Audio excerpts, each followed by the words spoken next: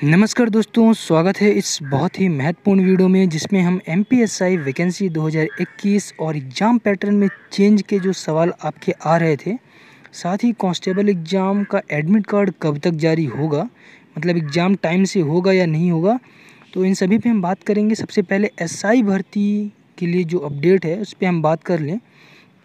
तो पीईबी का जो अभी तीन एग्ज़ाम कैंसिल हुआ है, इस फर्जीवाड़े के बाद पीईबी अपना इमेज सुधारने में लग गया है, ठीक है? तो जितने भी एग्ज़ाम हैं पीईबी के लगभग वो सभी टाइम्स लिए जाएँगे और नई एजेंसी के द्वारा लिए जाएँगे। तो M P S I sports quota की जो वैकेंसी है, मैं आपको दिखा दूँ सबसे पहले तो जो गृह विभाग में खाली पद हैं, सात हज़ार छः सौ इकसठ पद, ठीक है?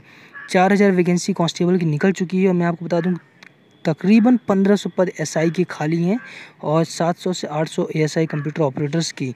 लेकिन आपको जो आने वाले दिन में वैकेंसी देखने के लिए मिलेंगी तो आपको मैं बता दूँ कि एम स्पोर्ट्स कोटा की जो वैकेंसी है, वो निकल चुकी है और साथ ही जो जीडी की वैकेंसी है, जितने भी पदों पे भर्ती होनी है, सरकार उस पे लग गई है मीटिंग उनकी चालू है और साथ ही 500 पद लगभग बहुत ही जल्द भर्ती के लिए आने वाले हैं।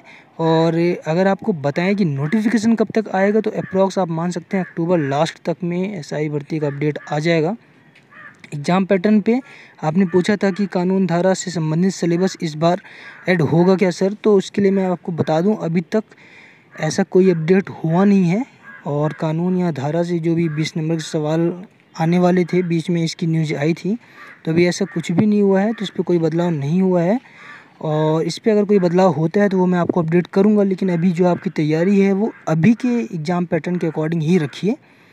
कांस्टेबल एग्ज़ाम की अगर हम बात करें, आप यहाँ देख सकते हैं अक्टूबर और नवंबर में प्रस्तावित है मतलब ये लगभग लास्ट अक्टूबर तक में एग्ज़ाम इसका स्टार्ट होगा।